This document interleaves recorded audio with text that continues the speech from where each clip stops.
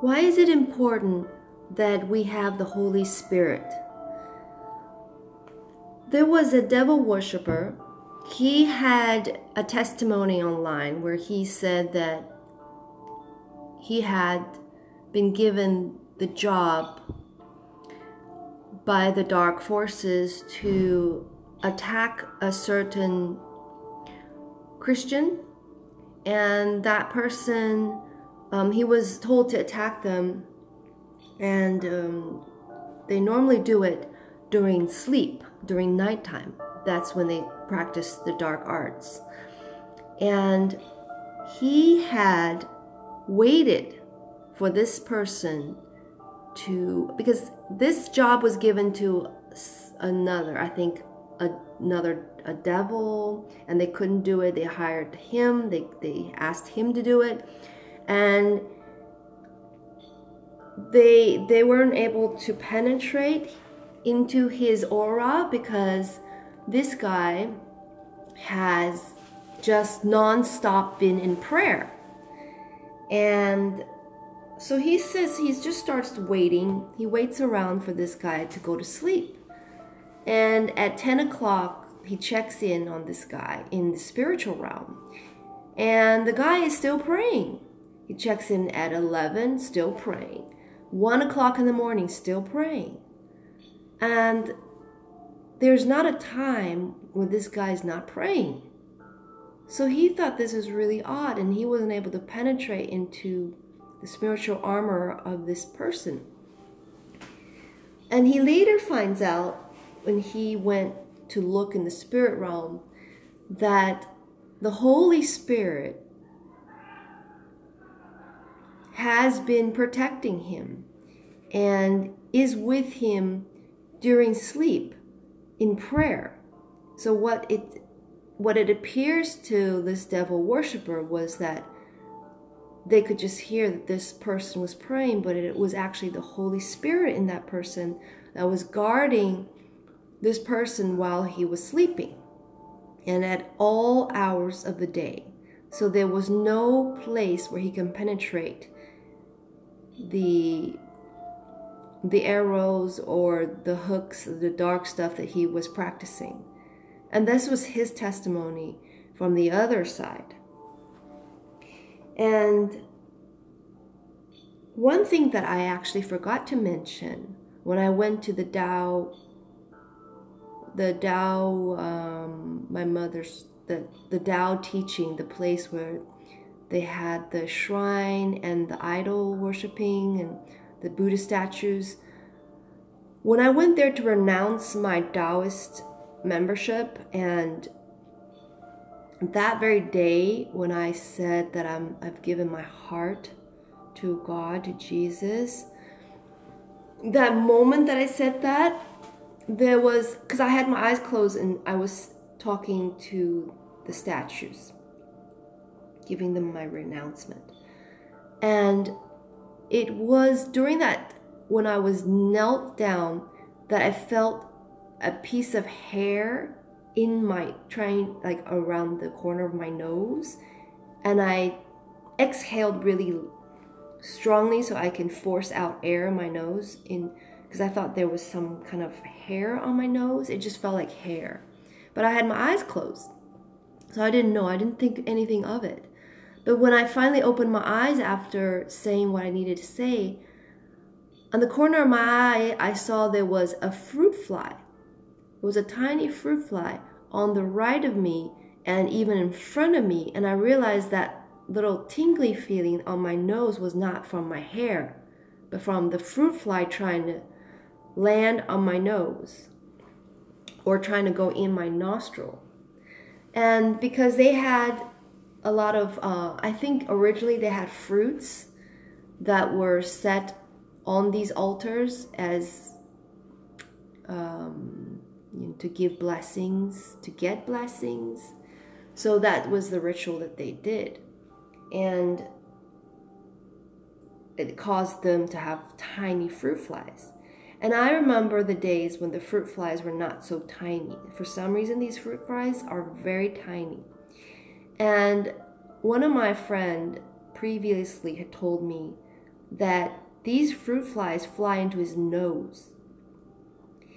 And I wasn't aware of it until he said it because I know sometimes they get really close to my face and I feel like they were around my nose area.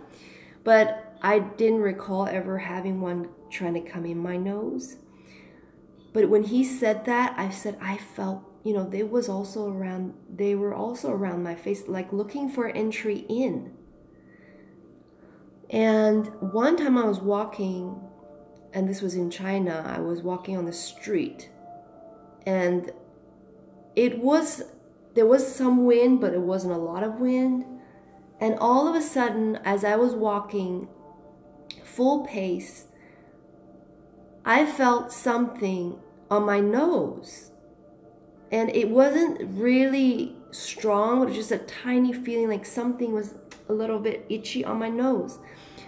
So when I blew my nose out, I blew out a tiny little insect.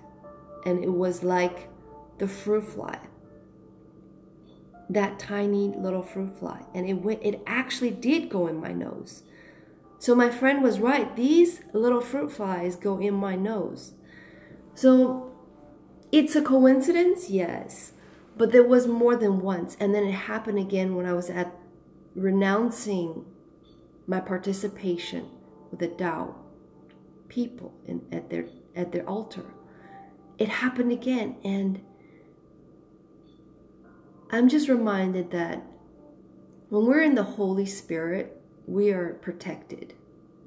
But in those places, even though they have an altar and they have um, a good heart and kind heart and wanting to bring enlightenment to people, but I have this feeling that they're not protected. I don't know why. It's it comes in the form of these little things, you know, and and then I can get into this whole fruit fly thing because there was a lady online. She stu- she was studying chemtrails, and she realized that a lot of these were nanobots, but in the biological form.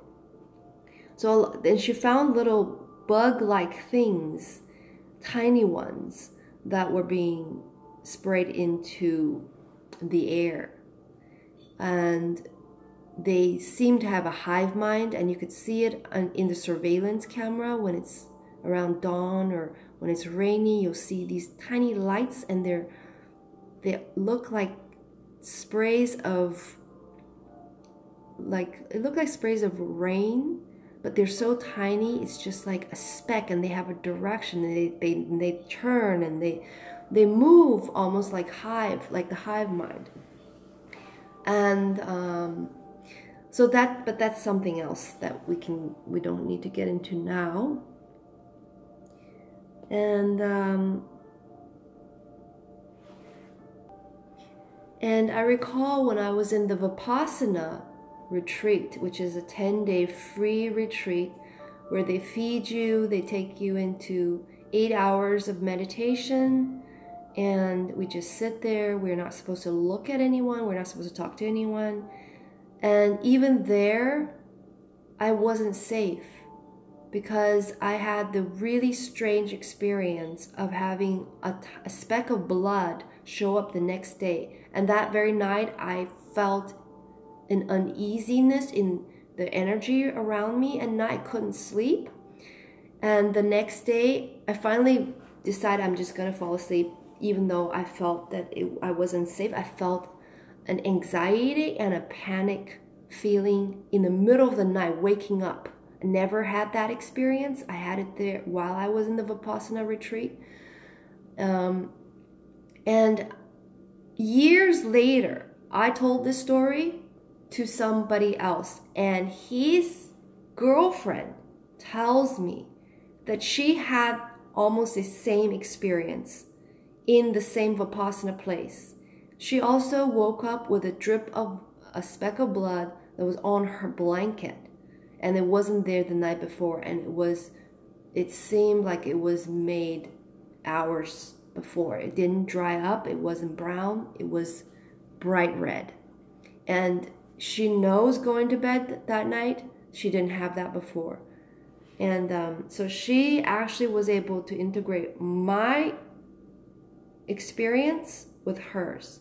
And so that what that tells me is that even when we're meditating, we're not protected. Even though even though while we're seeking an enlightenment, our bodies are not protected. And even while they say there's protection, because we're doing it in a group setting, but evidently we weren't protected. So if I were to go into meditation now, I would want the Holy Spirit to be praying over me and to be in constant prayer with me while I'm sleeping, while I'm meditating, or even if I leave my body, that I am completely protected. And I feel that the Holy Spirit does that for us.